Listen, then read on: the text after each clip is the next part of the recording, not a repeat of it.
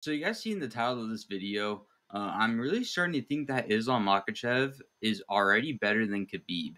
Uh, you know, obviously, just to get the comments and questions out of the way, Khabib's resume is still technically better than Islam. But however, if you go watch them, just eye test, right? Islam Makhachev, you know, watching his fights on TV versus Khabib, you know, both of them have great wrestling. Obviously, Khabib's is better in wrestling but the difference in striking that I see from Islam Makhachev versus Khabib are levels. You know, especially after yesterday's performance, or at least from the time I'm recording this video, of Islam Makhachev doing that head kick over Volkanovski.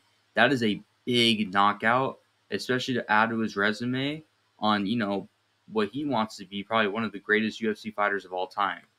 So, you know, striking department, I think he's starting to become very crisp with you know with, with his hooks and starting to uh, you know just be there in fights with just his hands, especially in that first fight with Volkanovski, and even in this last one too when he was outstriking Volkanovski until he got the head kick knockout.